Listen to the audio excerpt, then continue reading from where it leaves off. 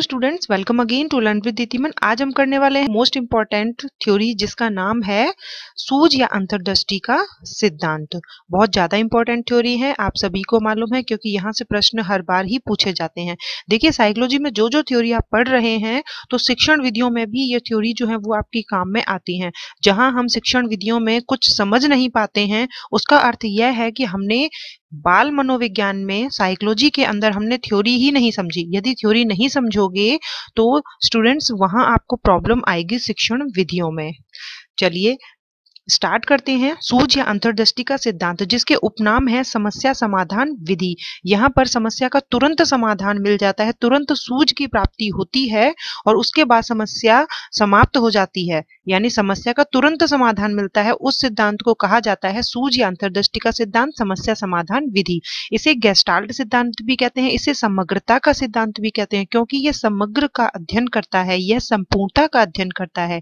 इसीलिए इसे पूर्ण से अंश का सिद्धांत भी कहा जाता है। अब एग्ज़ाम में कई बार पूछा गया है कि पूर्ण से अंश का सिद्धांत कौन सा है? तो हम वहाँ पर कंफ्यूज क्योंकि हमने नहीं देखा है कि पूर्ण से अंश का सिद्धांत कौन सा है या समग्रता का सिद्धांत कौन सा है। संपूर्ण से अंश की बात कौन करता है? तो वह है सूझ या अंतर्दृष्टि का सिद्धांत। तो ये सभी नाम से आप परिचित होने चाहिए, क्योंकि यहाँ से कोई भी प्रश्न आपके एग्ज़ाम में पूछा जा सकता है। क्योंकि नॉर्मल प्रश्न जो है कि सूझ अंतर्दृष्टि का सिद्धांत किसने दिया? तो ये तो हम सभी को ही मालूम होता है। चलिए स्टार्ट करते हैं कि गैस्टाल्ट संप्रदाय की स्थापना जो है वो जर्मनी में हुई। यानी गैस्टाल्ट संप्रदाय जो है वो जर्मनी में हुई इसकी स्थापना। तो ये शब्द जो है गैस्टाल्ट यह जर्मन शब्द है। इस गेस्टाल्ट संप्रदाय के अंदर कौन कौन आते हैं? तीन लोग महत्वपूर्ण भूमिका निभाते हैं, मैक्स, वर्दाइमर, कोहलर और कॉफका। इसके अंतर्गत भी जो ये सिद्धांत है, इसके प्रवर्तक माने जाते हैं मैक्स, वर्दाइमर। 1912 ईस्वी में इन्होंने ये सिद्धांत दिया था। लेकिन इस सिद्धांत में जो प्रयोग करने वाले हैं प्रयोग करता है, वो है कोहलर। क्योंकि कोहलर जो थे, वो प्रयोग करता थे जिन्होंने 1913 से 1918 के बीच में अंतर्दृष्टि का जो सिद्धांत दिया तो उसके अंदर सुल्तान नामक वन मानुष पर इन्होंने प्रयोग किया। उसके बाद जो कॉफका है, वो सहयोग करता है। यानी यदि हम देखें तो गैस्टाल्ट संप्रदाय के अंतर्गत जो तीनों ये महान मनोवैज्ञानिक थे, मैक्स वर्दाइमर कोहलर और कॉफका, इन तीनों की अहम रोल है, जिसमें प्रयोगकर्ता जो है, वो कोहलर माने जाते हैं, क्योंकि इन्हीं ने प्रयोग किया। तो इस चीज़ का आपको ध्यान रखना है। गेस्टाल्ट जो है वो जर्मन भाषा का शब्द है। इसका अर्थ है संपूर्णाकार या समग्राकार, पूर्णता या समग्र रूप। तो गेस्टाल्ट का अर्थ ही है संपूर्णाकार। कोहलर का अंतर्दृष्टि या सूझ का जो अधिगम सिद्धांत है, यह उन्होंने 1913 से 1918 के बीच में कैनरी द्वीप में सुल्तान नामक वन मानुष पर किए गए प्रयोग पर आधारित है, ठीक है? अब आप लोगों ने ये याद किया होगा कि कोहलर ने किस पर प्रयोग किया, उन्होंने सुल्तान नामक वन मानुष पर प्रयोग किया, लेकिन अभी आपको ये नहीं पता होगा कि इन्होंने प्रयोग कहाँ किया, वह उन्होंने कैनरी द्वीप पर किया उन्नीस सौ तेरह से उन्नीस सौ अठारह के बीच में। कोहलर ने जो प्रयोग किया, वह किस पर किया? सुल्तान सुल्तान नामक वनमानुष पर या चिंपांजी पर? यह भी एक प्रश्न बन चुका है अब तक एग्जामों में कि वन मानुष और चिंपांजी जिस पर प्रयोग किया कोहलर ने, उसका नाम क्या था? तो उसका नाम था सुल्तान। पहला प्रयोग जो किया, वो उन्होंने किया छड़ी समस्या पर प्रयोग और दूसरा प्रयोग जो किया, वो किया बॉक्स समस्या पर प्रयोग। तो जो कोहलर हैं, उन्होंने दो प्रयोग किए। पहला तो किया उसी सुल्तान नामक चिंपैंजी पर छड़ी समस्या पर प्रयोग और दूसरा किया बॉक्स समस्या पर प्रयोग। देखिए थोड़ा सा मैंने ये बनाया है, लेकिन मुझे अच्छे से बनाना नहीं आया।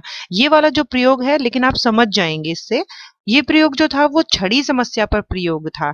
इसमें जो कुछ केले जो थे, वो वन मानुष से बहुत ज़्यादा ऊंचाई पर टांग दिए गए। और यह वन मानुष जो है, यह सुल्तान नामक चिंपैंजी जो है, इसने बहुत सारी हरकत करना प्रारंभ की।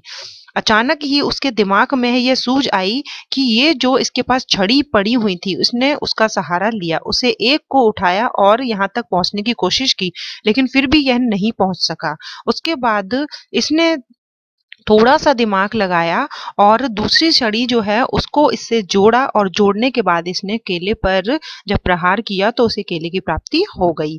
इससे कॉलर यह कहना चाहते हैं कि यदि मनुष्य जो है, वह अपना दिमाग जब लगाता है तो वह कार्य करते करते जब उससे कोई कार्य नहीं हो पाता है तो अचानक से उसके दिमाग में जो एक बत्ती जलती है कि हाँ ये काम जो है इस तरीके से हो सकता है। तो वह उन्होंने इस चिंपैंजी के ऊपर प्रयोग करके पता लगाया कि कोई भी मनुष्य जो है, वो अपने दिमाग का प्रयोग करके सूझ के द्वारा अपनी समस्या का समाधान कर सकता है। नेक्स्ट जो प्रयोग है, वो यह प्रयोग जो था, वो था बॉक्स पर आधारित। कॉलर ने तीन बॉक्स जो हैं, वो इस इसमें रखे, ठीक है? और इसमें वनमानुष जो था, उसको कैद किया, सुल्तान नामक चिंपांजी को। यहाँ पर भी केले जो थे, वो उसकी पहुँच से दूर थे। तो इसी तरीके से उसने इन बॉक्सों के साथ खेलना प्रारंभ किया। फिर भी वह केलों तक नहीं पहुँच पाया। तब उसने दिमाग लगाया, एक बॉक्स के ऊपर उसने दूसरा बॉक्स रखा, उसके ऊपर चढ़ा और फिर केले प्राप्त करने की कोशिश की, नहीं कर पाया। तीसरा उसने रखा तो वह ऊंचाई तक पहुँच गया और उसने अपने केले प्राप्त कर लिए। तो यहाँ पर भी जो दिमाग में एक बत्ती जली उसके, और वही दिमाग में आया कि, आहा, ये ऐसे हो सकता है। तो यह जो थी, उसके सामने जो समस्या थी केला प्राप्त करने की, वह कैसे आई? अचानक सूझ के द्वारा आई। तो यहाँ पर कॉलर ये कहते हैं कि कोई भी कार्य करने से ऐसा नहीं होता है। जैसा कि हमने स्किनर में देखा, थॉन्डाइक में देखा, पेवलोव के द्वारा देखा कि हम किसी को बाँध दें और फिर उससे ये कार्य करवाएँ तो वह सीख जाता है या फिर उसके सामने उद्दीपक रख दें तो वह कार्य करता है, उसके बाद उद्दीपक प्राप्त करने के लिए वह सीख जाता नहीं, यह तो एक दिमागी खेल है और जैसे ही दिमाग पर ज़ोर डाला जाता है तो अपने आप ही सूझ अपने आती है और उस समस्या का समाधान मिल जाता है।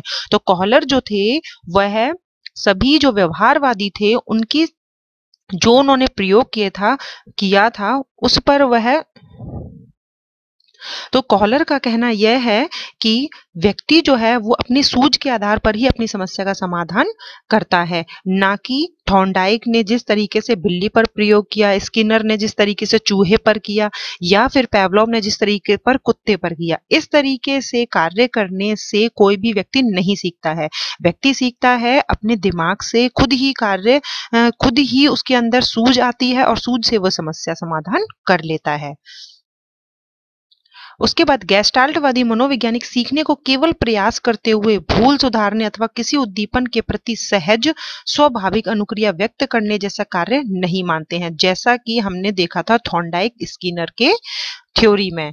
गेस्टाल्टवादी बिल्कुल नहीं मानते हैं कि सीखना व्यक्ति कैसे सीखेगा। वो केवल अपनी गलतियों को, प्रयत्न या भूल का सिद्धांत जो था, थोंडाइक ने दिया था, उसके द्वारा वह सीखता है या फिर कोई उद्दीपन उसे दिखा दिया जाता है, उसके बाद उसे देखकर क्रिया करता है या क्रिया करने के बाद उद्दीपन की प्राप्ति होती ऐसे नहीं सीखता है। बल्कि वह कैसे सीखता है? वह सूझ के द्वारा सीखता है। नेक्स्ट है गेस्टाल्टवादी सीखने को उद्देश्यपूर्ण अन्वेषण और रचनात्मक प्रक्रिया मानते हैं। वो कहते हैं कि यदि कार्य जो है वो उद्देश्यपूर्ण हो, किसी लक्ष्य की प्राप्ति करने के लिए निशाना साधा जाए, या फिर खोज की जाए, या फिर कोई भी क्रिएटिविटी की जाए तो समस्या समाधान होता है। गेस्टाल्टवादियों के अनुसार सीखने वाले संपूर्ण परिस्थिति का प्रत्यक्षीकरण और बुद्धिमत्ता पूर्ण उचित अनुक्रिया व्यक्त करने की योग्यता करने के लिए अंतर्दृष्टि शब्द का प्रयोग करते हैं। गेस्टाल्टवादियों का कहना है कि जो भी कंडीशन होती है, उस कंडीशन को पूरी तरीके से देखा जाए, प्रत्यक्षीकरण किया जाए, बुद्धि लगाई जाए और उसके बाद कार्य किया जाए तो उस कार्य की प्राप्ति हो जाती है, वह समस्या सुलझ जाती है। अंतर्दृष्टि या सूझ एक प्रकार की मानसिक योग्यता है, क्योंकि यहाँ पर बुद्धि अहम रोल निभाती है। जो मनुष्य तथा उच्च श्रेणी पशुओं में पाई जाती है। और उच्च श्रेणी पशुओं जैसे कि सुल्तान नामक वन मानुस, इस सूज के द्वारा किसी भी समस्या का हल अचानक ही मस्तिष्क में आ जाता है, ठीक है? तो ये जो थ्योरी है, ये आपको बहुत अच्छे से समझ में आई होगी। क्यों? इन्होंने कॉलर जो थे, इन्होंने थॉन्डाइक स्किनर या पेवलोव की तरह कोई भी पिंजरे जैसा कार्य नहीं किया कि पिंजरे में पहले भूखा उसे बंद कर दिया गया और उसके बाद उसके सामने उद्दीपक लाए गए या फिर उसे अनुक्रिया करने के लिए प्रेरित किया गया और उसके बाद उसे भोजन प्राप्ति हुई। कॉलर कहते हैं जो भी गेस्टाल्टवादी हैं, वो कहते हैं कि समस्या का समाधान जो है वो बुद्धि की वजह से होता है। यदि बुद्धि लगाई जाती है तो कार्य जो है वो असंभव से संभव हो जाता है और समस्या का हल प्राप्त हो जाता है। सीखने की प्रक्रिया की विशेषता, यदि किसी व्यक्ति को सिखाना है तो उसके अंदर कौन कौन सी प्रक्रियाएँ होनी चाहिए? कौन कौन सी विशेषताएँ हैं जो सीखने को प्रेरित करती हैं या सीखने के प्रोसेस में आती हैं? फ़र्स्ट है आहा अनुभव ये आहा अनुभव वही है दिमाग में बत्ती का जलना। जैसे कि चिंपैंजी जो था, जो सुल्तान नामक वनमानुष था, उसके माइंड में जैसे ही उसने छड़ी को देखा और छड़ी को उसने एक दूसरे से ज्वाइंट किया और फिर केले की प्राप्ति की तो उसके बीच में जो उसे फील हुआ, जो उसे अनुभव हुआ, वो था आहा। ठीक है? नेक्स्ट है संपूर्ण समस्या का प्रत्यक्षीकरण। जब उसने सीखने की प्रक्रिया के दौरान उसने क्या किया? संपूर्णाकार ठीक है? यानी कि संपूर्णता का अध्ययन किया पहले, उसने सारी चीज़ों को देखा ऑब्ज़र्व किया, उसके बाद उसने कार्य किया, एक बक्से को उठाया, दूसरे पर रखा, दूसरे बॉक्स को उठाया, तीसरे पर रखा और उसके बाद उसने केले प्राप्त कर लिए। थर्ड है अन्वेषकात्मक व्यवहार, जैसे पिंजड़े से हाथ बढ़ाना, पैर बढ़ाना, छड़ी बढ़ाना, ये कार्य जो है, वह तो मनुष्य भी करता है। किसी भी खोज की प्राप्ति करने के लिए वह इधर उधर हाथ पैर मारता है। उसी तरीके से चिंपैंजी ने भी केले प्राप्त करने के लिए ऐसा किया होगा। नेक्स्ट है निष्क्रियता की अवस्था। उसके बाद है सूझ का अचानक आगमन। जैसे ही कार्य किया। कार्य करने के बाद जैसे ही उस, जब वह जब वह केले प्राप्त करने की उसने कोशिश की तो वह उसे नहीं कर पाया। अचानक से उसके दिमाग में सूज आया और आने के बाद उसने क्या किया? सूज सीखने की जाँच स्थानांतरण अचानक जैसे ही उसके माइंड में सूझ आए कि केले किस तरीके से प्राप्त किए जा सकते हैं तो वह उसकी समस्या के समाधान में एक सीढ़ी का कार्य कर रहा था। सूझ सीखने की जाँच स्थानांतरण, ठीक है? जैसे ही वह, यह सूझ जो है, उसकी इस टाइम कार्य करने में कारगर साबित हुई और वह केले की प्राप्ति हुई। उसी तरीके से वह कार्य जो है, वो अगली परिस्थिति में करेगा। यहाँ पर उसने जो सीखा, उसी को वह दूसरी परिस्थिति में करेगा। तो वह जो परिस्थिति थी, उसका स्थानांतरण होता है। अगली बार यदि उसके साथ ऐसा होगा तो वह उस चीज़ को सीख चुका है कि कैसे कार्य करना है और कैसे केले की प्राप्ति करनी है या कैसे अन्य वस्तुओं की प्राप्ति करनी है। नेक्स्ट है जो सूझ सिद्धांत है, वह उसकी शैक्षणिक उपयोगिता उपयोगिता क्या है? यानी कि सूझ और अंतर्दृष्टि का सिद्धांत जो है, उसका शिक्षा में किस तरीके से प्रयोग किया जाता है? फ़र्स्ट है, संपूर्ण अंश से महत्वपूर्ण होता है। हमने देखा कि जब संपूर्णाकार का अध्ययन हो जाता है, तब हम छोटे छोटे अंशों की ओर यदि जाते हैं तो हम सीख जाते हैं। तो संपूर्ण जो है, वह अंश से ज़्यादा महत्वपूर्ण है। होल जो है, वो पार्ट से ज़्यादा इंपॉर्टेंट है। अतः परिस्थिति का समग्र रूप से प्रत्यक्षीकरण किया जाना चाहिए।